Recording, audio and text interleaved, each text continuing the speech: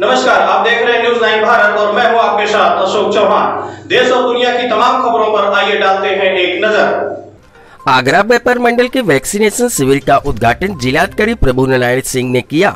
Vaccination शिविर में 45 साल से ऊपर के लोगों को वैक्सीन लगाई जा रही है। वैक्सीन शिविर का आयोजन Ram Swaroop girls inter college में किया गया। मीडिया से बात करते हुए आगरा व्यापार मंडल के पदाधिकारियों ने कहा कि 45 साल से ऊपर के लोगों के लिए लगाया गया है। जो भी दुकानदार बिना वैक्सीनेशन कराए दुकान पर अगर बैठा हुआ पाया जाएगा तो दुकान बंद करा दी जाएगी। साथ ही साथ उसका चालान भी किया जाएगा। व्यापार मंडल ने सभी व्यापारियों से अपील किया कि वो ज़्यादा से ज़्यादा वैक्सीनेशन कराएँ, जिससे कोई व्यक्ति कोरोना की चपेट में न आ सके, क्योंकि कुछ दिन पूर्व कई व्यापारी भाइयों को कोरोना ने अपनी चपेट में लिया, जिससे उनकी मृत्यु हो गई। इसलिए यह शिविर लगाया गया है, जिससे कोई भी व्यापारी कोरोना संक्रमित न हो पाए। इस कार्यक्रम में व्यापार मंडल के अध्यक्ष टी एन अग्रवाल नितेश अग्रवाल कन्हैया लाल राठौर अतुल बंसल संदीप गुप्ता राकेश बंसल आदि लोग उपस्थित रहे। आगरा से अर्जुन सिंह की रिपोर्ट।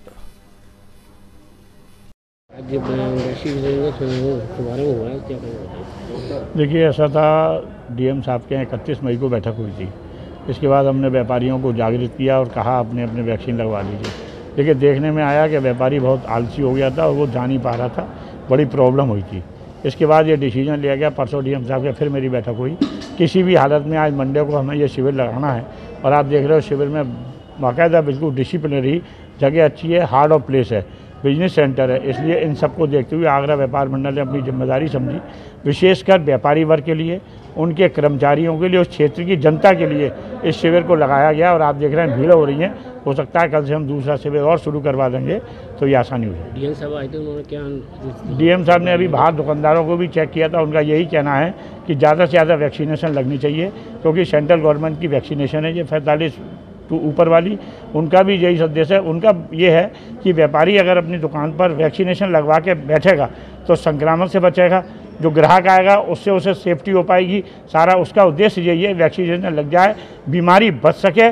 और जो एक शहर में पिछले बार हमने जो पंद्रह दिन पहले एक आपाताई देखी थी, एक स्थिति बहुत देखी थी, हर आदमी डर रहा था, उससे हम वैक्सीनेशन से बच सकते हैं। ठीक। पैंतालीस प्लस का एक स्पेशल स्पेशल कैंप यहाँ लगा है, जितने व्यापारी वर्ग हैं, हमारे जो छूट गए हैं, उनसे अपील की गई है कि सब लोग अपना वैक्सीनेशन कार्यक्रम ज़रूर कर लें। इनके अनुरोध पे जहाँ जहाँ इनकी टीम है, जहाँ चाहते हैं, वहाँ उसके लिए स्पेशल कैंप लगाया जा रहा है, ताकि एटलीस्ट हम लोग 45 प्लस का 100 परसेंट कर लें, उस क्रम में प्रयास है।